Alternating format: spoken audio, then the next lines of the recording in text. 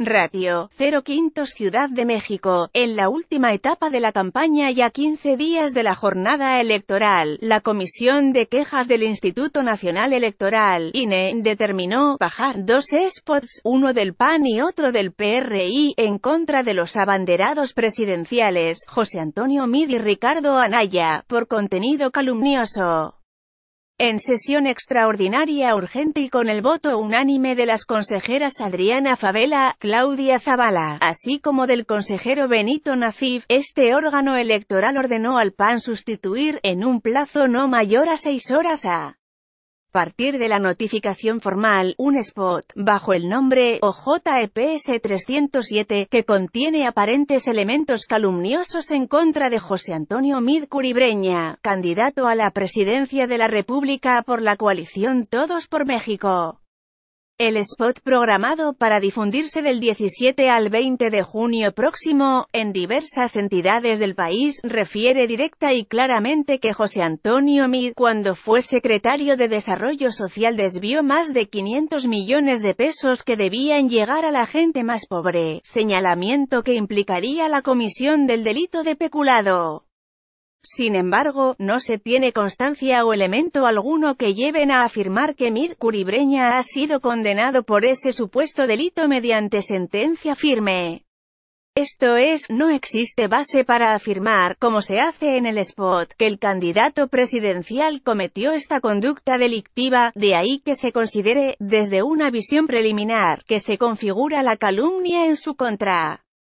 Otro spot en este mismo contexto, la comisión concedió por unanimidad de votos la medida cautelar solicitada por el PAN y ordenó al PRI que, en un plazo de seis horas a partir de la notificación formal, sustituya un spot contra de Ricardo Anaya Cortés, candidato de la coalición por México al frente, por contener elementos calumniosos. El spot, titulado Incoherencia, pautado del 17 al 20 de junio próximo, en diferentes entidades del país, retoma presuntamente el video de Juan Barreiro donde describe algunas operaciones financieras para hacerle llegar dinero a Anaya Cortés y que fue publicado en su totalidad el pasado martes.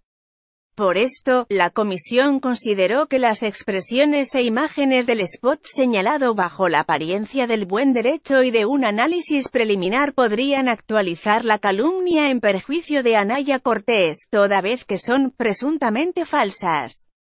Se precisó que el material que se utiliza de manera central en el promocional para imputar hechos a Ricardo Anaya, concretamente que, se hizo algo, este, para hacerle llegar dinero en cuanto a unas bodegas, y si queda, pues este candidato, se nos abren las puertas pero para lo que queramos, son probablemente expresiones editadas, sobrepuestas o manipuladas.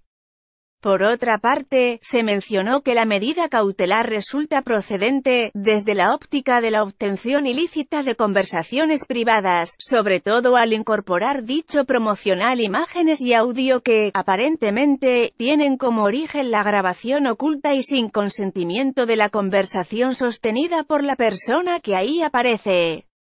En este caso, la comisión resolvió con dos votos a favor y uno en contra de Benito Nacif la procedencia de la medida cautelar en cuanto hace a la calumnia y por unanimidad conceder la medida cautelar solicitada, en lo referente al uso ilegal de conversaciones privadas. El Universal, MME 15 de junio de 18.